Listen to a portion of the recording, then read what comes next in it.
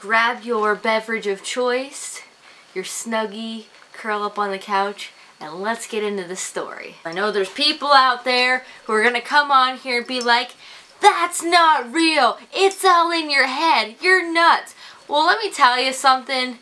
No matter what you say, it's not going to change my opinion. It's just based on my experiences with this. If you're not into that stuff, if you don't believe it, just please click off the video. This is not sponsored by Dunkin' Donuts. However, Dunkin', if you're watching this, send me some free coffee. Let's throw it back six years. We were at a fall equinox party thing. My mom and I are just walking around doing our thing and she's like, hey, look at that guy over there. He's checking you out. All I see are these like middle-aged men. I was thinking, mom, you're so gross. Like, stop. She's like, yeah, that guy up there by the tree, you know, and I'm just like, whatever, like kind of not really acknowledging it. The lady that was hosting this picnic type deal, she actually is like a psychic. We're just gonna call the, the psychic lady Barbara. I'm just gonna protect names here. So we're sitting around this fire, just chilling, and there's this couple there, and they're like talking to us. They're really nice. They're like, oh yeah, Barbara was just telling us how our son was like checking out your daughter. He thinks she's like really cute. And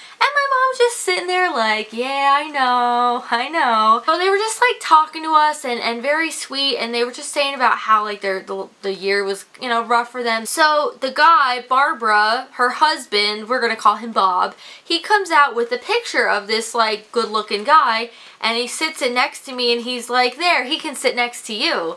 And I was like, okay. Like, I was kind of confused, you know. I'm like, okay, that's, that's great. The guy that they were talking about, they're like, oh, yeah. They're like, he was like, he was such a good kid and he was good at this and blah, blah, blah. We're just talking to different people, like friends of ours that were there. We were talking to that couple. Somebody said, yeah, you know, they, they lost both of their sons, their, you know, their only sons and it's it's been a tough year and they, they're finally coming out. My mom's like, okay she's like I'm, I'm not understanding. She's like they were just talking about their son and how he was checking you out or something and yet their son's passed away. My mom was really confused. Finally my mom goes up to Barbara and she's like can you just like clear the air here she's like so I know you're talking to these people about their son and like how he was like checking out Nadine. People were telling me that their son's passed away, but I, I seen this young guy walking around. Know, looked like he was interacting with people. He was standing over there by the tree, like looking at Nadine, like what's going on?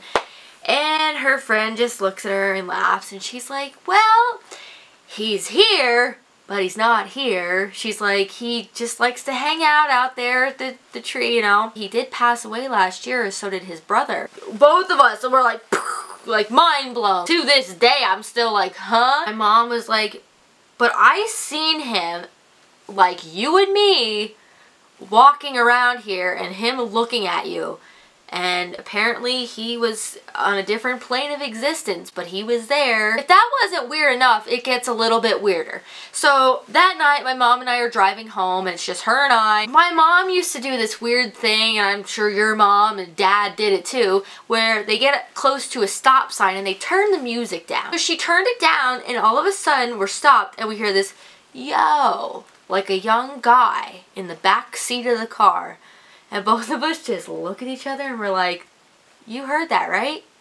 And we're like, yeah, okay. Did like this dude follow us home? It gets weirder, guys. I have a queen size bed. I used to sleep in the middle of the bed, okay? Because that's where I felt the safest. I would sleep in the middle of my bed. I woke up I was at the edge of my bed and all my pillows were scrunched up against me as if somebody pulled them over and was like laying there. I mean, I kind of look at that, like that's kind of like, okay, well maybe I did that myself, but it was just really weird like how all the pillows were like up, like somebody just put them there. I'd be at home by myself and I would hear footsteps and there was nobody home. I would check, I would look, there was no cars outside and I would just hear like somebody was walking around in my house and I'm like, okay.